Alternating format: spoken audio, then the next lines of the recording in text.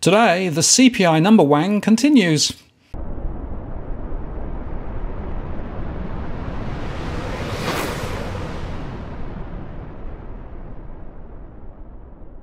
Hello again, it's Martin North from Digital Finance Analytics, one that is post covering finance and property news with a distinctively Australian flavour. Well, the Consumer Price Index, or CPI, rose 1.8% in the June 2022 quarter and 6.1% annually, according to the latest data from the Australian Bureau of Statistics.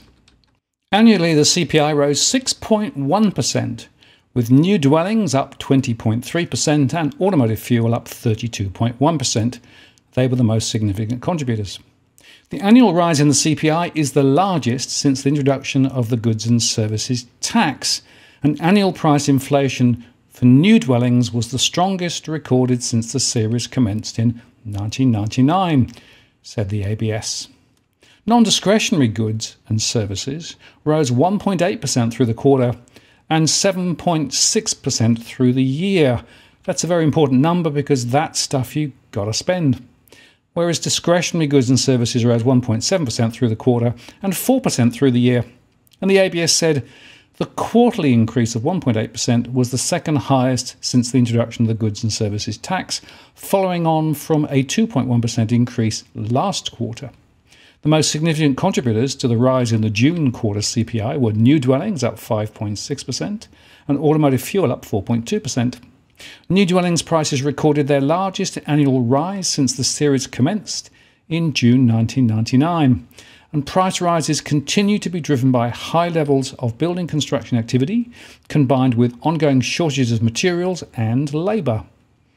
Fewer payments of government construction grants compared to the previous quarter also contributed to the rise this quarter. These grants have the effect of reducing out of pocket expenses for new dwelling purchases. Shortages of building supplies and labour, high freight costs, and ongoing high levels of construction activity continue to contribute to price rises for newly built dwellings. Fewer grant payments made this quarter from the federal government's Home Builder program and similar state based housing construction programs also contribute to the rise, they said. And rents in Sydney and Melbourne have recorded rises for the second consecutive quarter, with price rises driven by both houses and other dwellings, which includes flats and townhouses. Rents across the remaining capital cities have recorded a faster recovery in rental price growth compared to Sydney and Melbourne. These cities continue to record strong price rises in the June quarter 2022, with increases in rents seen for both houses and other dwellings, reflecting historically low vacancy rates, they said. The CPI's automotive fuel series reached a record level for the fourth consecutive quarter. Automotive fuel prices rose for the eighth consecutive quarter, and price pressures continue to flow through to consumers following an oil price shock caused by the Russian invasion of Ukraine last quarter coupled with ongoing easing of COVID 19 restrictions, strengthening global demand. While a cut in the fuel excise of 22 cents per litre on the 30th of March 2022 resulted in fuel price falls in April, price rises were seen in May and June, and the average unleaded fuel price in the month of June surpassed the previous record high monthly averages seen in March. The prices of goods, which were up 2.6%, continue to rise more strongly than that of services, which was up 0.6% over the quarter. And notable rises were recorded across the food group, up 2%, and furnishings, household equipment, and services groups, up 2.5%. Main contributors to the rise in food prices include vegetables up 7.3%, meals out and takeaway foods up 1.4%, and fruit up 3.7%. Supply chain disruptions due to flooding events, labour shortages, and rising freight costs contributed to higher prices. And furniture prices rose 7% due to increased transport and material costs and stock shortages. Services recorded a smaller rise compared to goods. Financial services, though, were up 1.2%, and holiday travel and accommodation were up 2.3%. But childcare dropped 7.3%. Now, that fell as the full effect of additional childcare subsidies for families with two or more children under the age of six, which commenced on the 7th of March, flowed through into this quarter. And before and after school care vouchers offered by the New South Wales Government also contributed to the fall in childcare costs. Urban transport fares were down 4.4%, and they fell due to free travel periods introduced by the New South Wales and Tasmanian state governments within the quarter. Now, in fact, inflation was lowest in New South Wales at 5.3% and highest in Perth. The new dwelling purchases by owner occupiers up 5.6%, and shortages of building supplies and labour, high freight costs, and ongoing high levels of construction activity continue to contribute to price rises for all new dwellings across all regions. The largest rises were recorded in Brisbane, up 7%, Melbourne up 6.9%, and Adelaide up 6%. Automotive fuel rose 4.2%, and they rose due to those global sanctions on Russian oil, plus the easing of COVID 19 restrictions. The largest rises were recorded in Darwin, up 6.2%, followed by Canberra, up 5.6%, and Adelaide, up 4.9%. Furniture was 7% higher, and they rose due to increased transport and manufacturing costs. The largest rises recorded in Sydney, up 8.9%, Hobart, up 8.6%, and Melbourne, up 7.1%.